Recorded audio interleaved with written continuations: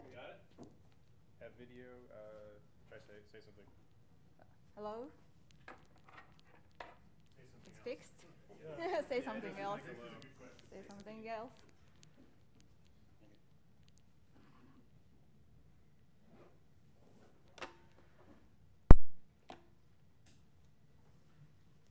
All right, I think we're good.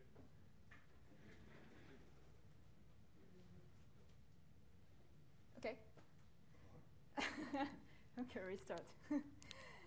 so, what I said before stop. So, uh, so, uh, so I ex- explained about the DXR, and uh, so DXR creates uh, the very compact R uh, data structure uh, to based on the OS default radix tree. So they reuse the data and they create a compact data and data structures is to fit our into the CPU cache hierarchies. So it can accelerate the load lookup speed. And so, and this time our I ported our DXR patch R is created for our uh, the FreeBSD8. It's it's a little bit old, so I ported the the original one to the to fit into the FreeBSD12, and uh, and the DXR fib uh, lookup function is called instead IP found root. And this is the experimental setup.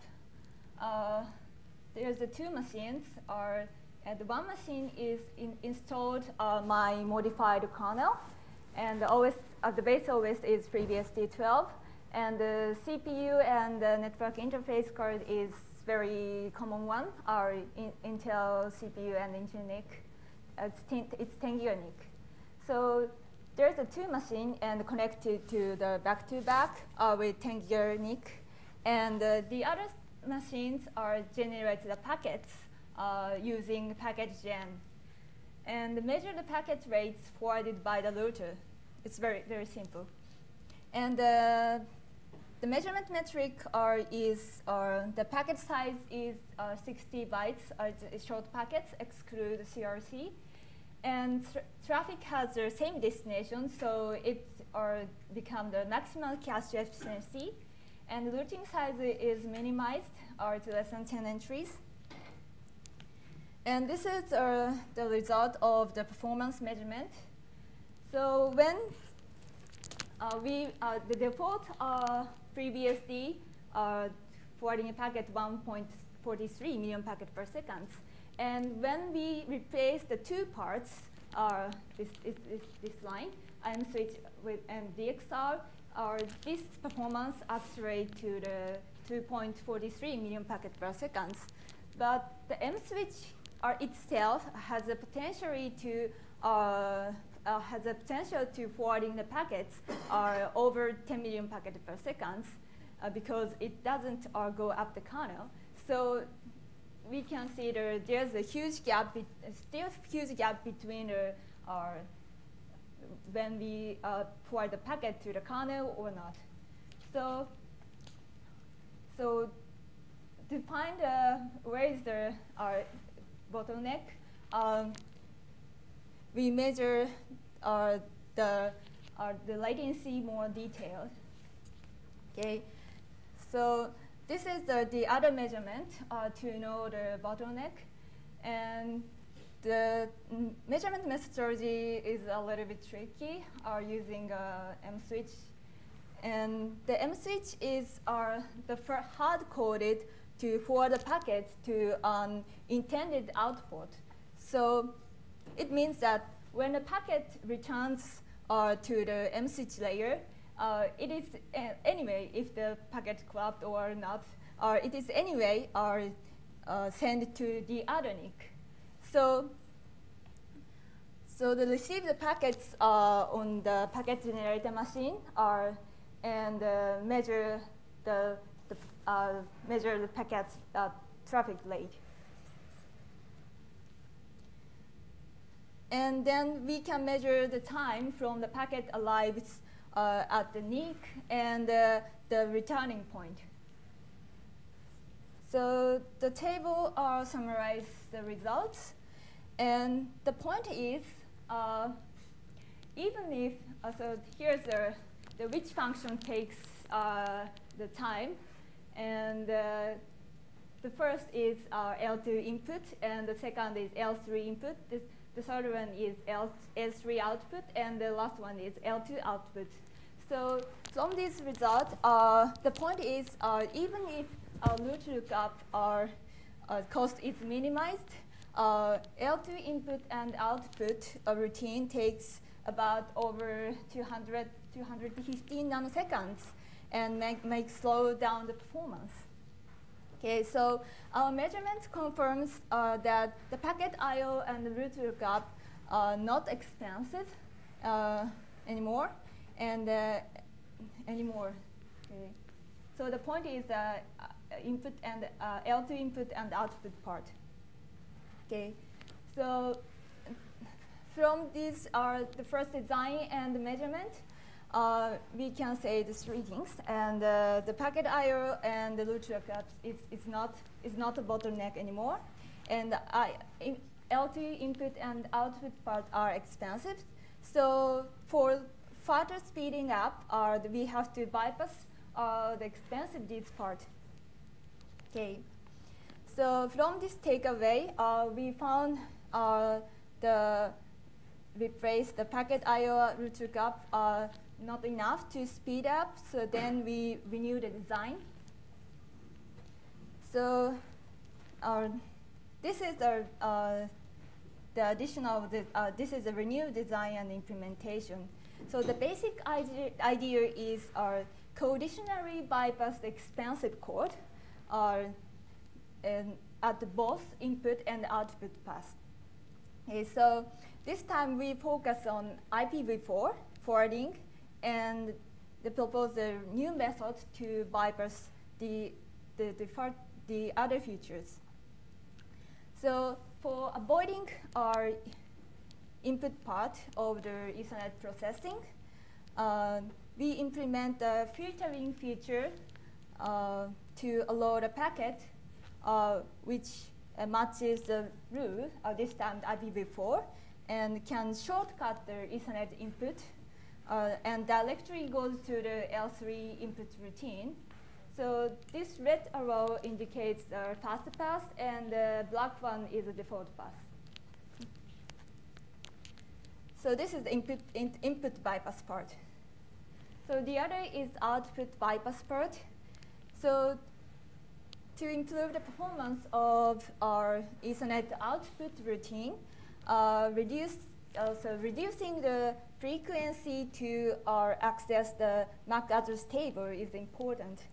So L2CAP uh, has uh, already optimized uh, by Q or internal caching mechanisms, but our target speed is uh, requires nanoseconds level saving, and the cost of L2 lookup uh, is, is not trivial uh, according to our measurement. So, so we, we extended the DXR FIB to cache the Ethernet header information and to uh, Ethernet in information uh, for the next hop. Okay, and uh, so and the, the first packet are need to have to uh, go to the slope black black slow path, but if the second the subsequent packet uh, has uh, the same destination, uh, it can use the cache data uh, in the DXR FIB.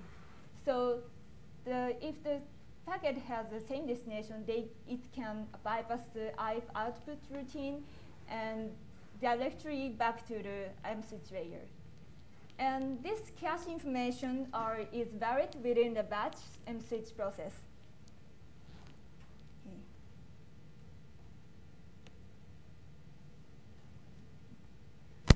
So this is uh, the new design implementation, and so next is the evaluation.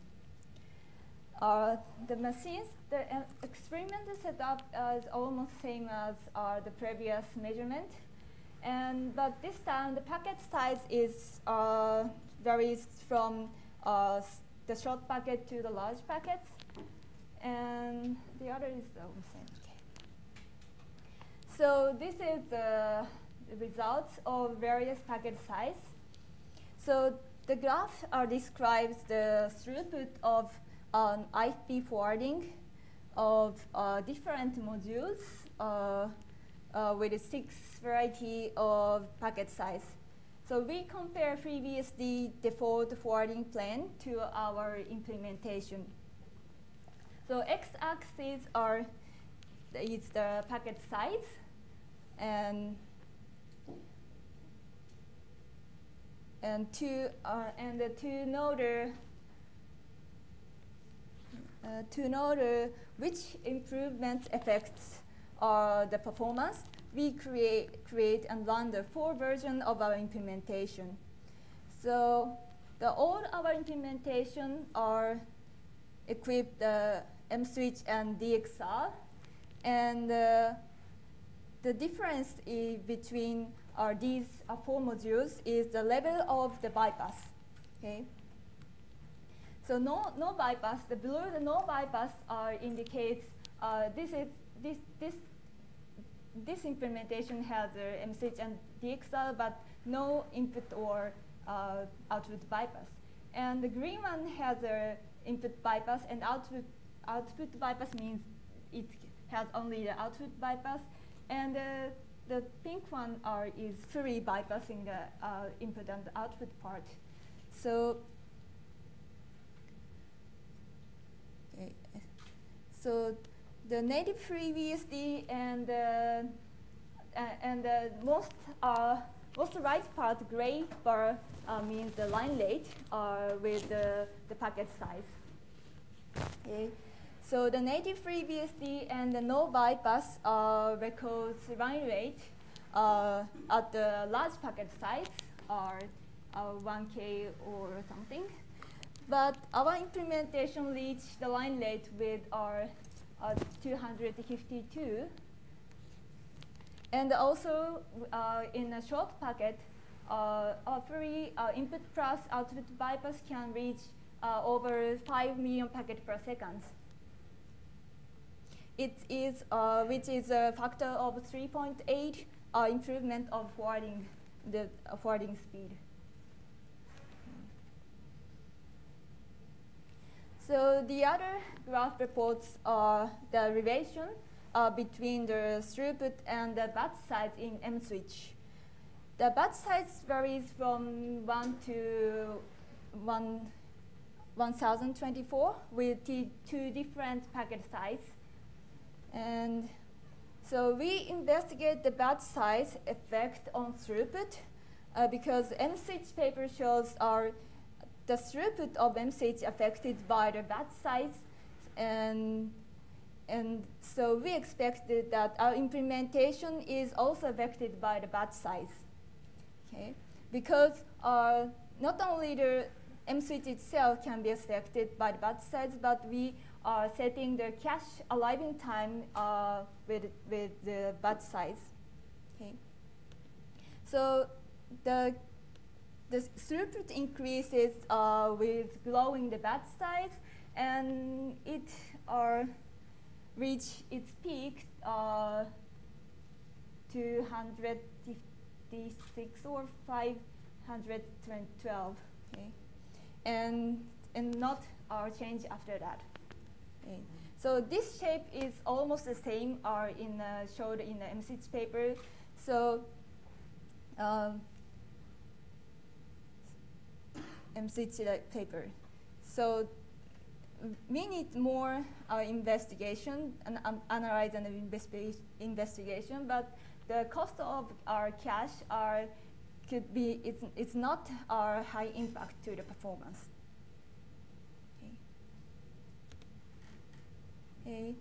So from these results, uh, we can see that uh, we can say that our our new implementation uh, reduced uh, over the 80% of uh, L2 input and uh, also L2 output routine.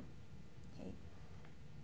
And our implementation accelerated default FreeBSD IP forwarding rate by a factor of 3.8 and reached over 5 million packets per second with minimum size packet.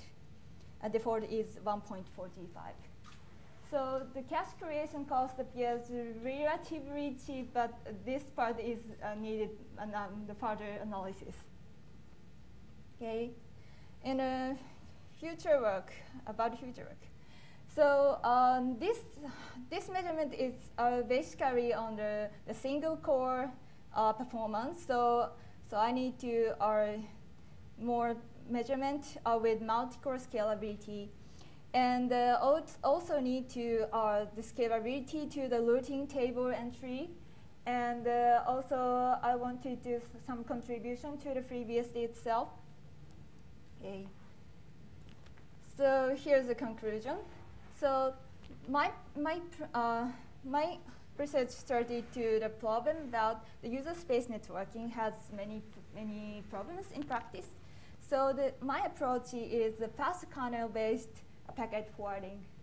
And in this approach, uh, we take the three measure our design and uh, replace the packet IO and the root lookup part, and then on the bypass expensive routine at the both input and the output part. So this uh, approach uh, has reaches the uh, 3.8 times speed up to the default FreeBSD, and they increase the, increase the packet forwarding rate to the 5, 5 million packets per second. So this result demonstrated the possibility of kernel-based packet forwarding.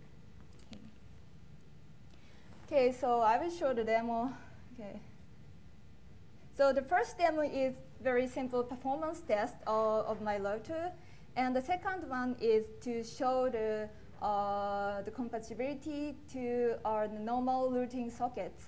So in the router, our, my implement, my uh, modified kernel, uh, uh, so running in the application, uh, the BGP daemon, top of my uh, router. And show the, this BGP daemon uh, works, works. So, okay.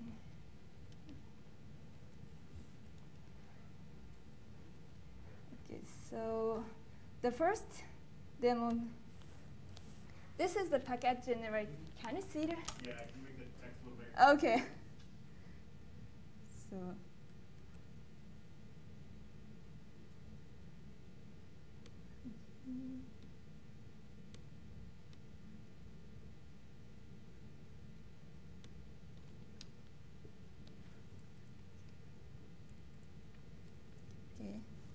this machine is a packet generator machine, and uh, with uh, using with the packet gen, uh, this this is the process of sending the packets. So this process uh, create uh, the packet uh, in 1488 million packets per second. So sending a packet to the routing machine right now. And the other So in the diatonic, uh, the, here's the receive, uh, receiving uh, process, and they receive the packet uh, with 1.6 million packets per second. Uh,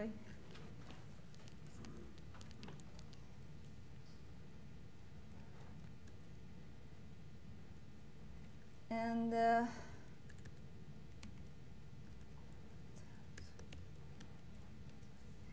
so so we attached the virtual machine. Uh, in the virtual machine, we attached the, the NICs to the, the mSwitch. And then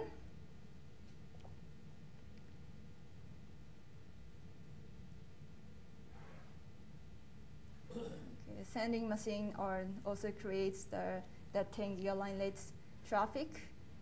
And this time, uh, we attach the, the NICs to NIC to the mSwitch. So uh, the router machine can forward the over 5 million packets per second this time. Okay.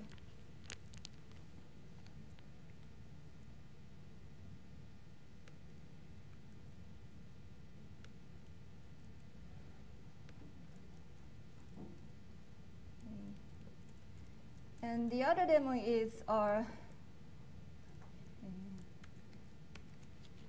uh, using the BGP daemon are in top of this router. So, so in in the router machine, uh, the BGP daemon is running, and uh, the other side of machine, uh, here's uh, the emulator to are creating the BGP daemon uh, as a neighbor. So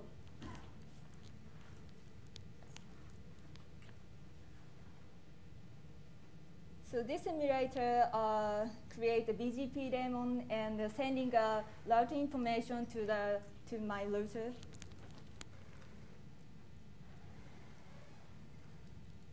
So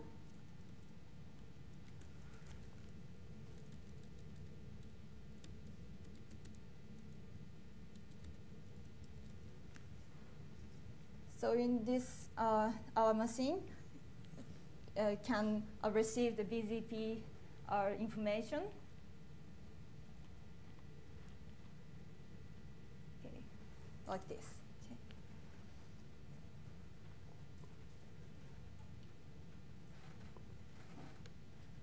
Okay. Okay, that's it.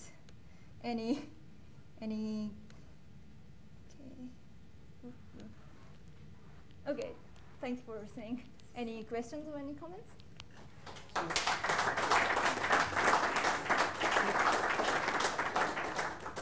wonder if you did a better job than you think you did.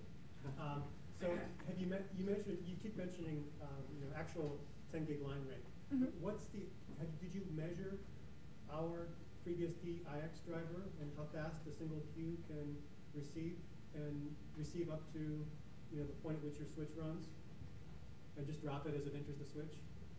Oh, excuse me, can, so, I? so you're measuring everything, you know, from the above the driver. But have you measured how long it takes the driver to allocate an MBUF and to receive the to receive the packet and to and to, to dispatch the packet up?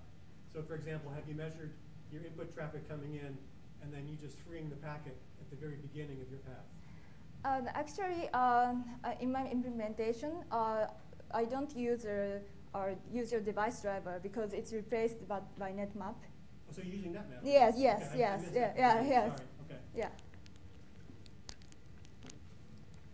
Other question? Any thoughts on um, a suitable test of IPv6 um, with uh, oh, about IPv6? And, and this implementation uh, user uh, DXR, so DXR is only for the IPv4.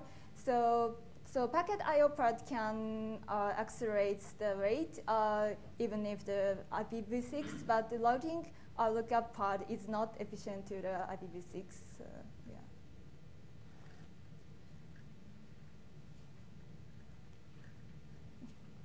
How many routes did you have in the routing table for the test? Uh, the, this this measurement are less than 10, so it's it's the the loading table size is minimized, less than 10. Okay.